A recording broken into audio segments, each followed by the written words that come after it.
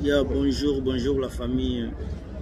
C'est moi Gilmas, je suis à l'extérieur. En tout cas, il fait beau aujourd'hui. Alors, j'aimerais vous parler de la vie d'un expat, un expatrié en Occident et surtout précisément au Canada. Il y a beaucoup, beaucoup, beaucoup de choses que vous ne connaissez pas. Beaucoup de choses que les médias ne vous montrent pas. Beaucoup, beaucoup de choses que vous ignorez.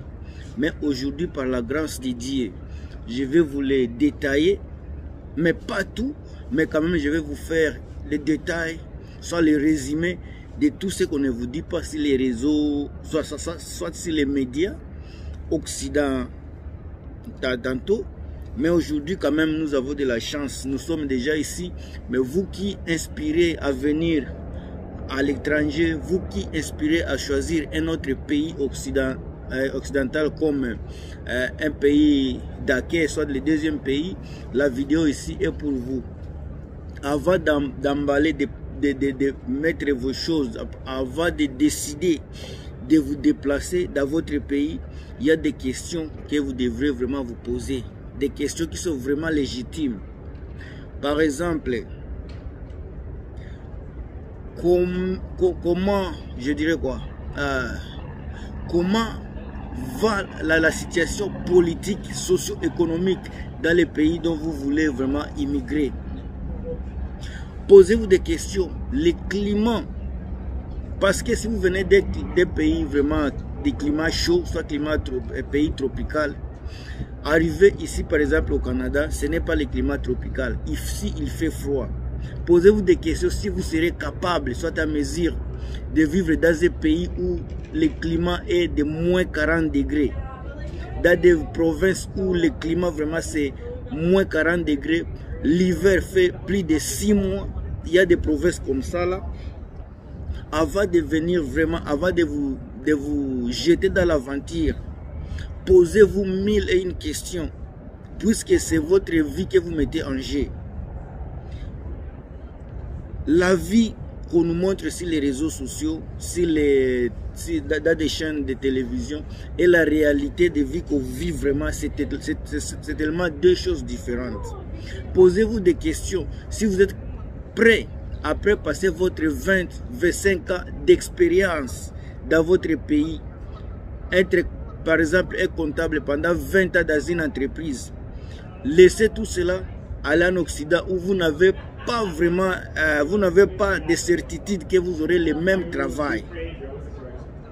Puisque un comptable africain est différent des comptables canadiens. Dès que vous arrivez ici, c'est là où vous saurez vraiment que tout ce que vous disiez sur les, sur, les plateformes des de, de réseaux sociaux, sur les internets, tout est différent. Par exemple, quand on vous dit que euh, on cherche des emplois, des travailleurs qualifiés, mais on va vous, on, va vous donner par, par exemple annuellement c'est 100 000 dollars par an, soit 80 000 par an. N'oubliez pas que c'est un salaire brut. Un salaire brut, donc c'est un salaire qu'on n'a pas encore enlevé le, les impôts, il y a des taxes, beaucoup, beaucoup de choses. Euh, les, les, les, passions, toutes, toutes, toutes ces choses-là ne sont pas encore prélevées dans votre salaire. Quand vous parlez de salaire de 100 000 par année, dès que vous touchez vos salaires, ce ne sera pas 100 000, ça peut peut-être 60, 70 000, puisque l'autre 30%, 30 là, ça va dans des impôts, dans des taxes et tout qu'on sort. C'est ça la réalité. Il y a ce qu'on appelle le collège. Il y a des collèges, par exemple, si vous avez fait les, les, les, les si vous êtes ingénieur, par exemple, chez vous en Afrique, un ingénieur africain n'est pas ingénieur canadien. C'est tout, ce sont des choses différentes. À un moment donné, vous allez, vous allez vous biter à des collèges, collèges des ingénieurs. Si vous êtes docteur en Afrique, vous allez vous, vous, vous, vous biter à des collèges des, des, des, des, médecins canadiens. Tout ça, ce sont des choses que vous devez vraiment mettre à compte avant de bouger même dans votre pays. Puisque dans beaucoup de cas, après avoir passé plus de 20 ans dans votre pays, après la stabilité que vous avez, vous avez des maisons, vous avez des salaires qui est vraiment assurés, vous avez vos petits, euh, petits, épa petits épargnes mensuelles. En tout cas, il faut vraiment, vraiment réfléchir. Puisque ici, la, la, la, plupart du temps, je ne suis pas un expert, mais je, je, vous parle de la réalité qui se passe ici. La plupart du temps, les gens ont toujours tendance, toujours, toujours, je dirais toujours, retournent toujours à l'école. Disons si tu étais un docteur en Afrique, docteur africain, arrivé ici au Canada, tu dois te recycler encore. Tu dois rentrer à l'école peut-être pendant 5 à 6 à 7 ans. Être docteur chez nous en Afrique, ça vous prend beaucoup de temps. Il y a peut-être, je dirais, à 40 ans, vous êtes docteur. Euh, immigrer maintenant, être un expatrié dans un pays qui n'est pas le vôtre, après 20 ans d'expérience chez vous, dans les pays d'origine, arriver ici, vous allez vous biter dans, les collèges peut-être des, médecins canadiens qui ne reconnaissent presque pas votre, votre, votre éducation de l'Afrique. Alors vous allez vous, vous êtes obligé à vous à retourner à l'école, à faire des stages, à vous recycler pour être à la hauteur, à même, soit au même niveau avec les docteurs d'ici. Êtes-vous capable à faire tout cela? À, l'âge de 45 ans, retourner à l'école, à, l'école, aux études, pour, pour encore euh, 5, 6, 7 ans, et puis il ne faut pas être assuré que l'argent que vous allez, euh, que vous espérez avoir, c'est l'argent que vous aurez dès que vous aurez votre, votre, diplôme. C'est toute une chose différente. Peut-être si, en général, si par exemple, vous payez euh, 150 000 par an, par exemple, soit 200 000 par an, comme un docteur, 200 000 par an, mais comme tu es nouveau, tu, es, tu viens d'être euh, recyclé, tu ne peux pas espérer avoir le même montant avec les gens qui ont fait plus de 10 à 20 ans d'expérience canadienne. Quand tu viens, tu arrives ici, il y a aussi ce qu'on appelle les, expériences canadiennes. Tu viens venir de l'Afrique avec les expériences africaines qui n'ont pas de, de, de mêmes compétences avec les expériences canadiennes ce sont des réalités auxquelles vous allez vous buter. Je n'ai pas dit que tout le monde passe dans la même chose, mais souvent en général, la réalité avec les choses que je connais ici dans le pays, en tout cas, tout le monde passe toujours par des... On vous, on vous pose des questions quand on vous embauche, on vous pose des questions si vous avez des, des, expériences canadiennes. Si vous n'avez pas des, des, des, expériences canadiennes, souvent on a la difficulté de vous embaucher. Beaucoup de gens qui ont même une éducation vraiment élevée en, en, Afrique, ils se butent dans de, dans de telles situations et commencent à travailler dans des manufactures. Dis-moi un enseignant vraiment, un, un professeur d'université en Afrique, arrivé ici en Occident, commence à laver, faire la vaisselle dans des restaurants, soit euh, commencer à travailler dans des entrepôts, soit dans des manufactures.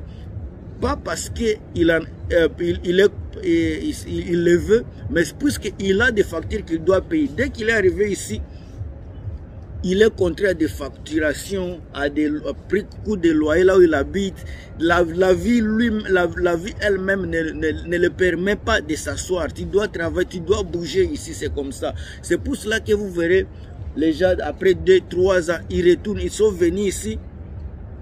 Après avoir consommé toutes les économies qu'ils avaient, en espérant trouver des, des, des, des belles emplois ici, ils se butent dans des, dans des difficultés et puis ils, se, ils, retournent, ils retournent chez eux dans les pays d'origine puisque les, les, difficultés qu'ils racontent, qu'ils racontent pendant qu'ils sont venus s'installer ici, c'est tellement différent, différent, indifférent. C'est une vérité que je suis en train de vous dire. Ça ne se passe pas seulement ici, c'est partout, je, je, dirais dans les pays occidentaux, ça se passe comme ça. Alors, euh, la vidéo ici, elle n'est pas, pas vraiment longue. C'est seulement pour vous dire que il y a des réalités qu'on ne vous dit pas sur les réseaux sociaux, sur les, les, les web, les, sites internet, de toutes ces choses que vous, vous, vous voyez sur les réseaux, euh, sur l'internet. Autre chose, je ne, je ne vous, je ne veux, je ne fais pas la vidéo ici pour vous décourager, mais la vidéo ici, elle est ici pour vous encourager, pour vous donner des motivations. Souvent, si vous avez l'idée de venir ici, ce que je vous dirais, il faut avoir l'esprit de faire des recherches. L'esprit de recherche va vous, va vous, va vous, ouvrir beaucoup, beaucoup, beaucoup de, euh, portes. Puisque à, un moment donné, il faut poser des questions. Les inconvénients de vivre en, au Canada, par exemple. Les difficultés qu'on raconte dans, les premiers premières cinq années ici au Canada Ce sont des questions que vous devrez vous poser.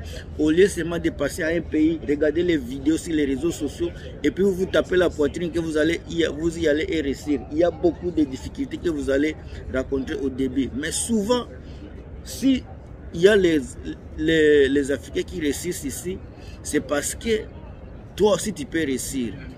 C'est parce que l'autre aussi peut réussir. Mais ce que je suis en train de dire, il y a les gens qui, sont, qui viennent ici, qui n'ont pas de travail vraiment fixe en Afrique. Alors ils n'ont pas les choix. Ce sont des expatriés qui n'ont pas les choix. Ils sont venus ici pour les pour les points économiques, par cause de la situation économique. Il y a d'autres personnes qui n'ont pas de situation économique, qui sont stables. Alors il faut bien vérifier. Les gens qui sont à difficulté, par, par exemple, de sécurité, euh, sécurité sociale, sécurité générale, ces gens-là, ce n'est pas... Euh, la vidéo, ce n'est pas pour eux, puisque pour eux, partout où il y a une paix, partout où il y a une sécurité, ils peuvent survivre. La vidéo ici est pour les gens qui ont souvent qui ont de la stabilité en, Afrique, qui ont des boulots, qui ont vraiment euh, qui sont vraiment stables dans, dans ce qu'il faut là-bas. C'est à eux que je m'adresse. Parce que il ne faut pas qu'on puisse vous montrer des photos seulement sur les réseaux sociaux, sur les Facebook, les Instagram, et vous pensez que la, la vie est exactement comme vous l'avez vu. Mais en réalité, il y a des choses dont, on ne vous montre pas. En tout cas, je ne serai pas long. La vidéo ici, euh, je pense que vous l'avez apprécié. Si vous l'avez, si l'appréciez vraiment, partagez-la. Si vous avez des commentaires, commentez. Et puis si vous voulez vraiment liker la vidéo, en tout cas liker. C'est pour, pour notre bien. Et à la prochaine, oh, j'espère qu'on va se raconter dans la prochaine vidéo avec d'autres sujets qui nous fera du bien. Alors, à la prochaine.